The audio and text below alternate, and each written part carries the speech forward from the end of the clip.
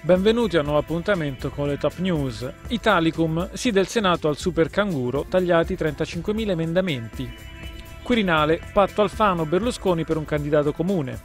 Francia, annunciate nuove misure antiterrorismo. Il Senato ha approvato l'emendamento Esposito che recepisce l'Italicum 2. I voti a favore sono stati 175, 110 i contrari e 2 gli astenuti. A seguito della votazione sono quindi preclusi 35.000 emendamenti sui 47.000 presentati. L'Aula aveva precedentemente bocciato entrambi gli emendamenti Gotor alla legge elettorale.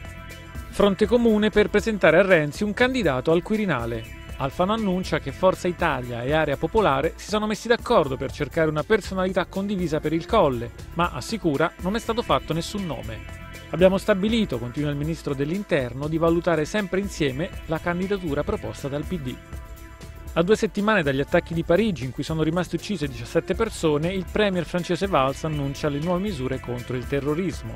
Potenziamento degli organici, in particolare dei servizi di sicurezza, considerata l'urgenza prioritaria.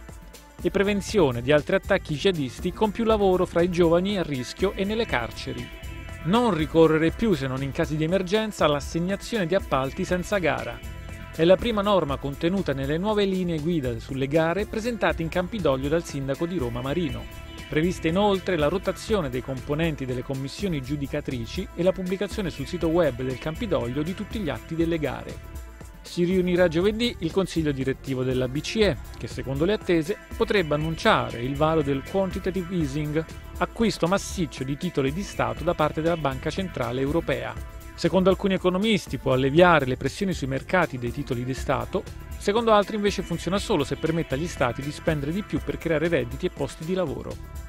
Sarà Le Meraviglie d'Italia il filo conduttore della ventottesima edizione del Salone del Libro di Torino, in programma dal 14 al 18 maggio.